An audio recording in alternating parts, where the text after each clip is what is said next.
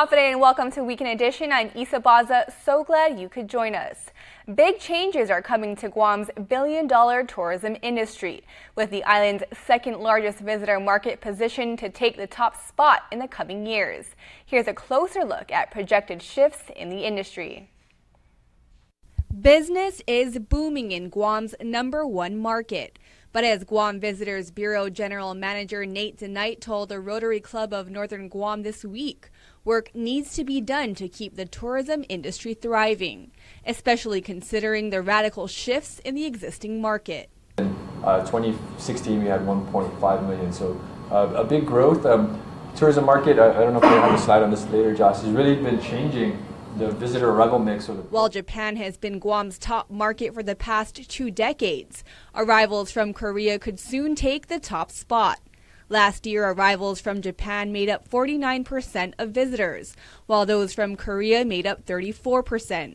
The shift may be related in part to airline seat capacity, with only four airlines servicing Japan and five servicing Korea. A sixth airline, Air Seoul, is expected to enter the Guam market later this year. Well, number one, the, the Guam has, you know, we've seen a decline in Japan, and, and part of that reason is uh, the air seats, as I mentioned, but Guam has become a more expensive destination. So the average package price for Guam uh, five years ago was about $700. We're over $1,000. And so, you know, you talk about a 30, 40% price increase. This shift is noticeable in the average room rate, which has grown from $130 per room night five years ago to $198 per room night today. Time we're in has been the most change and disruptive time in the travel industry that we've ever seen. As the Korea market grows, Denight said the island can expect to see a range of visitors, from families to budget and high end spenders. Meanwhile, Japan is seeing an increasingly aging population, which is why GVB is hoping to hone in on the country's silver market. We're shifting in Japan to show Guam as more of a value, uh, more of a premium destination and not a budget destination, not offering those two $300 packages. And of course, you're going to lose some volume by doing that. But in the long run, I think that's the way it has to be in Japan because it's not the market's not expanding. We're having with tourism employing over 20,000 jobs and bringing in roughly 240 million dollars in taxes every year. Denight said the island needs to continually invest in infrastructure and culture in order to propel the industry toward its goal of bringing in 2 million visitors by 2020. Reporting for Guam's News Network, I'm Isa Baza. It's the agency that handles tax refunds, driver's licenses, and more. The Department of Revenue Tax recently went before lawmakers for its budget hearing requesting almost $14 million for fiscal year 18. The request is a 1.5 million increase from last year's budget. The question on everyone's mind, why the long wait? Lawmakers telling DRT leadership that many constituents have called to complain about the length of time it takes to complete services at the agency. Rev and Tax Deputy Director Marie Benito thanks the public for their patience and encourages the community to use online appointment services and other services provided on their website. They're also hoping to fill more than 20 vacancies they believe will help to ease up wait times. In this next story, Jonah Charfris talks to an avid runner pounding the pavement in hopes of bringing awareness about the lack of safety for the island's pedestrians and the need for road improvements. For 20 year old Dennis Daly, action speaks louder than words. And for the past few weeks, the Mangilao resident has been taking to the streets, running from village to village, and speaking with mayors and vice mayors about the condition of the roads, the lack of safety on the roadways, and of course, the improvements needed. My intentions isn't to, you know, incite a riot or anything like that, anything negative. It's just to, you know, uh, promote um, positive, positive, um, I want to say, uh, positive and peaceful protesting, something that stands for a greater cause. What prompted the U.S. Army specialists to run for awareness? It was an incident that took place on Father's Day in which a pair of cyclists were struck by a vehicle while riding on Route 3 in Dededo. Fortunately, they survived. There was also an incident that occurred a while back that hits close to home for Dali. During my time in uh, Simon Sanchez High School, I, I you know, lost several uh, schoolmates. I wouldn't say classmates or you know, but uh, schoolmates uh, from um, auto pedestrian casualties. He hopes that by personally interacting with the mayors and most especially the legislative body, his concerns will be addressed. It's for everyone that occupies the roads because you know, uh, commuting from place to place, uh, sometimes on foot or on a bike, you know, you get cautious about, uh, or this, uh, uh, you get uh, cautious about different dangers that you're prone to, and um, a lot of the times the roadways don't accommodate for your co- commuting. To date, he's ran over 50 miles and has spoken briefly with mayors from Mangilao, Sinajana, Piti, Asan Maina, Yigo, Orta Chalampago, and Nagana, discussing everything from road issues within the village and what they're doing to ensure pedestrian safety. And it seems the problem stems from lack of funding. He says it would also be nice to have a law or bill passed that would ensure all persons after a certain time wear a reflective vest or gear. That in itself would would I want to say increase if it's a law and you leave your home without a reflective vest, then you're in trouble, and then you know it's kind of a, a balance, you know, and a balancing act. And I think that that in itself would be would be amazing, and I highly encourage that uh, Guam's uh, elected officials consider some kind of uh, law or bill to be passed to support that. He adds that the legislature needs to really analyze the budget and make sure funds are being used wisely. That in itself would assist uh, the people of Guam in better understanding how Gov Guam is operating, because uh, transparency is very important. If you would like to join Dali in his mission or would like more information, you can find him on Facebook or at the Mangilao Mayor's office, where he routinely starts his daily runs. Reporting for Guam's News Network, I'm Jonah Goncharfris. Thanks, Joan. Guam's special education program may face difficulty continuing services at existing levels next school year. That according to a citizen-centric report issued by the Guam Department of Education in June. The report indicates that the island's federally funded special education programs are expected to receive the same amount of funding in the upcoming school year, or about 14.1 million in SPED Part B grants and 1.5 million in SPED Part C funding. However, flat funding will make it difficult to maintain services due to organic growth in personnel costs and contracts. Superintendent Jon Fernandez said DOE requested additional funding to support 80 school aid positions needed to assist students with disabilities, which can no longer be afforded under the federal grant. He said he'll continue to work with the legislature to find a solution. Sanctuary Inc. was created to offer an alternative to the juvenile justice system for abused, neglected, runaway, homeless, at risk youth. The local nonprofit organization recently received three year accreditation. Jonah Goncharfris reports.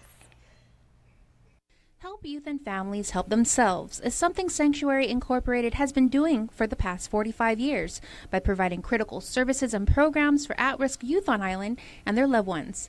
At the helm is Executive Director Teresa Arreola, who has been with the organization since October 2015. I've been with Sanctuary for the last uh, year and a half, and uh, to say the least, it's been a wonderful experience, but also very challenging. The organization who ha- that has been around for 45 years, so Sanctuary Incorporated is the oldest local nonprofit organization on Guam. Recently, the local nonprofit was awarded the max three year accreditation from the Commission on Accreditation of Rehabilitation Facilities. This achievement is an indication of Sanctuary's dedication. A lot of work has been done by my wonderful staff here at Sanctuary, and, uh, and we're so pleased because we are the only CARF accredited organization on the island. So, what does receiving this accreditation mean to Sanctuary, the people of Guam, and the people they serve? The fact that an, an ad, uh, accreditation body sees Sanctuary's services and our staff as having delivered the highest quality based on over a hundred, it's really over 125 standards across um, the Guam Behavioral and Child and Youth Service. We're very proud of that because it doesn't come easy. It's uh, it's every day keeping up with the standards and making sure that the quality of service that the youth and families deserve is delivered by our staff. According to Arreola, Sanctuary has been accredited by CARF since 2008. And with the nonprofit earning the max three years, that doesn't mean they're just going to relax until the next accreditation.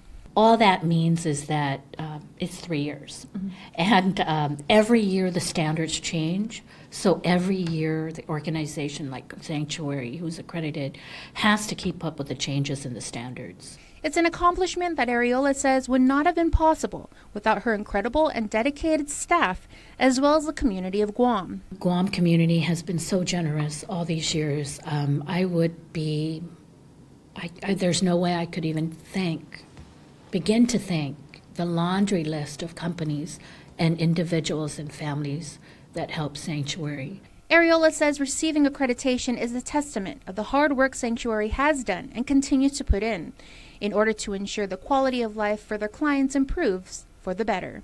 Reporting for Guam's News Network, I'm Jonah Goncharfris. It's become known as the blood of San Vitores, but according to Guam EPA spokesperson Nick Lee, the reddish-brown tide seen along Tumon Bay this week isn't blood or runoff, but a seasonal growth in plankton. There are dinoflagellates that uh, uh, cause the discoloration in the water. It's not blood red per se, maybe more like a crimson or a rusty brown. The tide has been observed since the 1700s and typically happens between the months of April and August. As for why it's referred to as the blood of San Vitores, Lee said the legend dates back hundreds of years. I believe it was maybe mid 1600s. Uh, Father San came to Guam, spread Christianity, uh, and uh, he was executed uh, in Tumon, uh, very close to where the uh, the red tide or the blood of San would occur, and in in or around the same time of year of his death. So that's kind of how that legend came to be associated with um, with the red tide.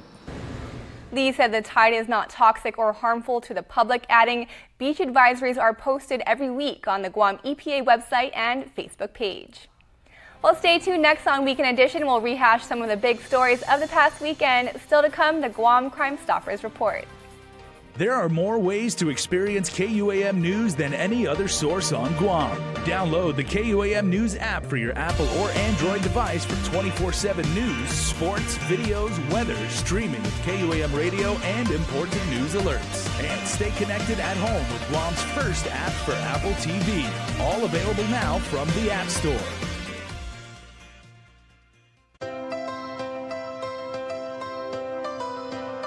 When we face an uncertain path. When we struggle with life's challenges. And when the unexpected happens. It's a beautiful day. We rely on the people we trust. Whoa, whoa, whoa. Who we can always count on. And to the ones who give us the most care throughout the years. Rely on Calvo's Select Care to give you the comfort and security you need It's a beautiful day. wherever you are. Calvo's Select Care, healthcare that's always there for you.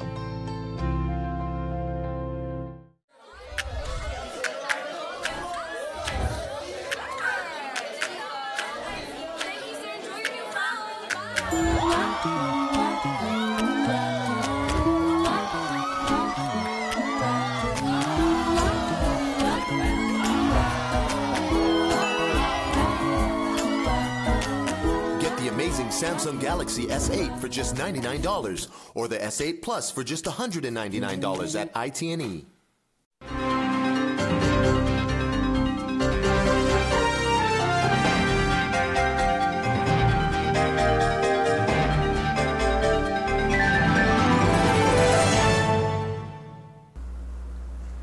Advances in technique and medications used to prevent dental pain have shattered the myth that a dental visit is something to fear.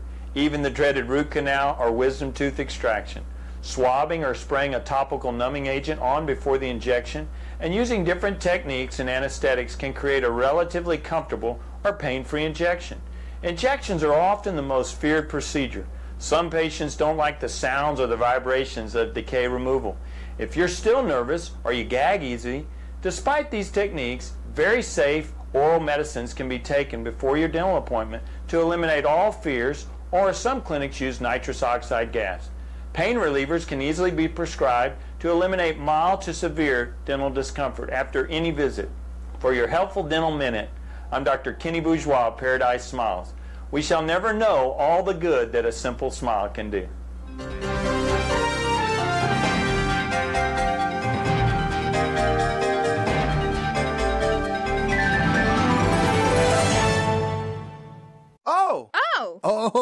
Ruby Tuesday puts the O in dinner combos with Garden Bar Plus entrees for only $20.99. Choose salmon moco, petite sirloin, or pesto chicken pasta only at Ruby Tuesday. Oh!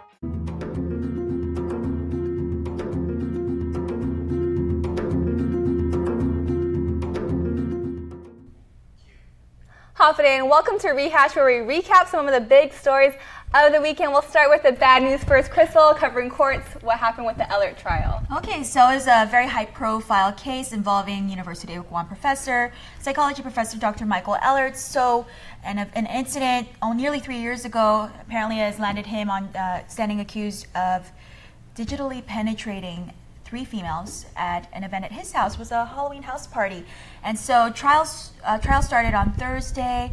On Friday, we heard from one of the victims herself, and um, again. She goes on the stand, very tearful, very tearful testimony, and she's recounting, recalling what, what she believes happened in the water, but no one actually saw what happened. There, the people were swimming, but no one saw the incident. She she clarifies for the court that she felt someone touching her breast, put their hand down her pants, but did not see who did it, didn't turn around. So we expect to hear so much more from this trial. It should go on for the next few weeks. We hear we should hear from at least four other women, even though he's only charged for three three victims. As two more are expected to take the stand, talk about how in the past they too may have been sexually assaulted by the UOG professor. And as for myself, that kind of touches on the same thing. Uh, sex crimes, that also labor crimes, and so um, I covered a story about human trafficking, and unfortunately, you know, this happens all over the world, and it does happen here in Guam. And so there's a new bill that actually passed the House of Representatives um, Congress, and it was introduced by a CNMI congressman. And so what this would do would provide more resources to the Department of Labor to help train employees to recognize signs of human trafficking and help report it. So hopefully, you know, these victims can get help and um, these criminals can get put to jail. A big case that you might all recall is the Blue House case. And so another interesting story on a lighter note, um, but something very relevant. It's ADA Awareness Month, and so uh, you covered that. Yes, so today I worked with DISID, um, and for a few hours I got to spend some time in a wheelchair. Um, definitely a struggle for me. Um, you know, if it wasn't for Joser, our cameraman, he helped me get around. Um, we went to the legislature today. They're definitely ADA compliant. It's, it's a new Congress building. Um, they've got the ramps, they've got the parking. But unfortunately, I couldn't get into the doors very well. And according to Mr. Servino, the doors are not um, required to be automatic for ADA compliance. But that was definitely a struggle, and it really opened my eyes to a lot of a lot of the things um, you know that um, people with disabilities uh, have to go through regularly. So. All right, and Brittany, on to you. Yes, so um, this week for our Guam All Around, we have a new one, and it's one that I really enjoyed shooting and editing. It's a hike to San Carlos Falls. Um, and then Liberation Day is coming up, so we're going to be everywhere. We're going to be all over talking to people, streaming the parade. So if you don't already, like us on Facebook, follow us on Instagram, Snapchat, Twitter. Well, definitely looking forward to seeing that uh, San Carlos Falls. And also, remember, if there are any news tips, you can just email us at reporters at kuam.com.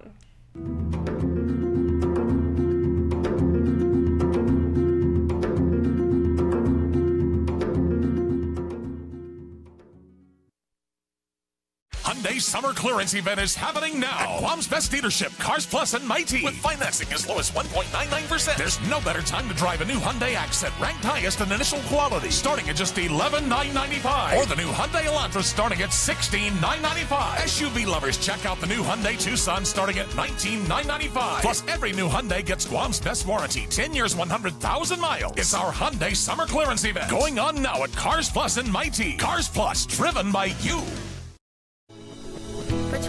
For 20 years, Matson has been an important part of our everyday lives. Bringing in the cars we drive, the food we eat, and the materials that helped build our homes. From caring for our land through the Adahi Itanu program to generously supporting our local charities, Matson has contributed to the preservation and growth of our island. On behalf of those you've served throughout your 20 years on Guam, Kita Smaasi Matson. Why is tourism Guam's number one industry? Tourism benefits our economy. Visitors come to our shores to experience our island. More tourist spending means more dollars flowing into our economy. Tourism creates jobs. From bell service to front desk to tour agents, more jobs mean more opportunities. Tourism builds businesses. From hotels to shops to restaurants, more businesses mean more dreams come true. Tourism preserves our culture. In the visitor industry, culture takes center stage. Celebrating our culture means keeping our traditions alive. Tourism keeps our land and waters clean. It all adds up. Tourism improves our quality of life. It helps make Guam a better place to live, work, and visit. Tourism works for Guam. I just picked up the cake for the baby shower. Yay! You know she's having a boy, right? Oh boy. Buick now has an SUV for that. Introducing the new Buick Encore. I knew I could trust you guys with the cake. No problem. That was close. One of three luxury SUVs from the new Buick.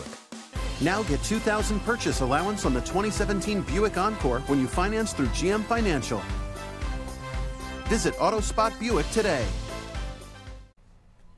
Summertime safety is of utmost concern to each and every one of us Guamanians. So Officer Paul Tapau is here as he is each and every week, and we have summertime safety tips. Paul. Yeah, absolutely. You know, um, ringing in the summer.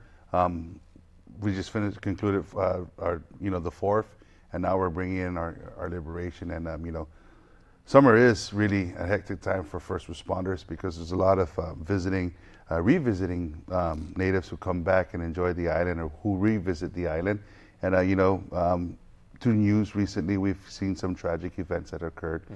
and it, it, can be really, you know, we can actually avoid those events by simply planning your activities accordingly with what the weather will uh, permit you for that day, or just informing people where you're going to be and how long you're going to take, so that people, um, you know, other family members have an idea of what's going on with your activity. So it's all about making sure that you plan mm-hmm. in an intelligent manner, that you respect everybody else around you, and you know who to call if something goes wrong or you need help. Yeah, absolutely. You know, don't take things for granted just because, you know, it may look calm. When you get there, you jump in the water, the winds start picking up, and the water gets choppy, and then you're in a predicament that you can't get out of. So, really plan your activity accordingly to what, um, you know, permits itself, weather and, of course, location, and um, informing, uh, you know, somebody that you trust that this is where I'm going to be at. All right, once again, where can people go if they want more information? Uh, you can call Guam Fire. You can call the Guam Police Department if you want to um, stay safe within the community. But if you really want to find out more information about our current crimes and what's going on, give us a call at 477 HELP. All right, we appreciate it as always. Thank you. And we appreciate you guys for watching, and please continue to do so after this commercial break. It's Nissan Stay Fit sales event. Fitness is important. You Nissan service pros are like trainers for my car's fitness. Now check out this heart racing deal. Rogue starting at just 137 per pay period. The top safety pick Rogue, yours starting at 137 per pay period. And your new car fit kit includes free service, free car washes, and your own personal fitness watch. Keeping it fit and clean with free car washes leaves me more time to focus on keeping myself fit. The Stay Fit sales event. Find out more at Nissan Upper Tumon or online at nissanguam.com.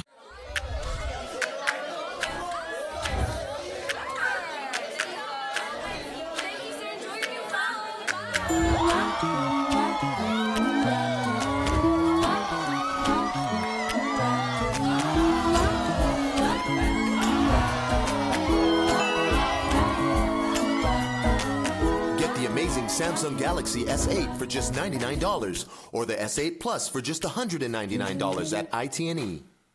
Hyundai summer clearance event is happening now. At Guam's best dealership, Cars Plus and Mighty. With financing as low as 1.99%. There's no better time to drive a new Hyundai Accent, ranked highest in initial quality, starting at just 11,995. Or the new Hyundai Elantra starting at 16,995. SUV lovers, check out the new Hyundai Tucson starting at 19,995. Plus, every new Hyundai gets Guam's best warranty, 10 years, 100,000 miles. It's our Hyundai summer clearance event going on now at Cars Plus and Mighty. Cars Plus, driven by you. Guam's auto appearance specialist, Elegant Reflections, has been providing the automotive industry with professional detailing and car care products at its highest quality from complete detailing, full interior detailing, exterior detailing, headlamp restoration, hand washing, seat and carpet shampoo, engine degreasing, undercarriage cleaning, paint sealant, fabric protection, paint oxidation removal, and so much more. Visit us at our new location. Call 646 5555 for an appointment. Elegant Reflections, Guam's auto appearance specialist, over 20 years of experience. My job is to protect.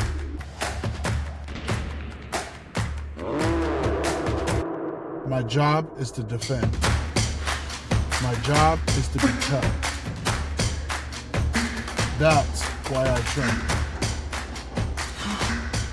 That's why I need those who are tough around me.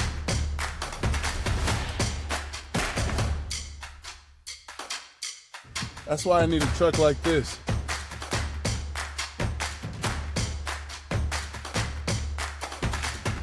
For a big boy truck? America's best selling truck for 40 years straight. When you're ready for a big boy truck, Triple J Ford is the place.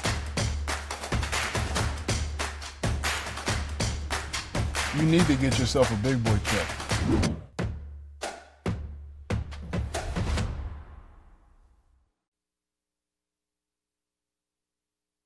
Happy Liberation Day, Guam from Autospot Buick GMC.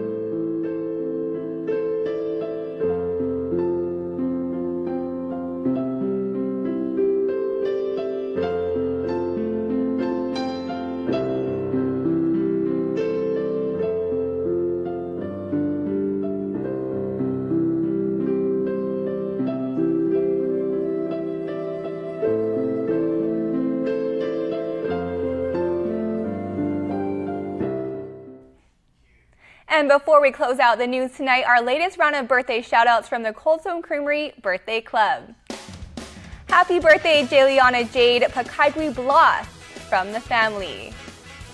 Happy birthday, Alanika Sangil Riley. Happy birthday, lots of love from your familia.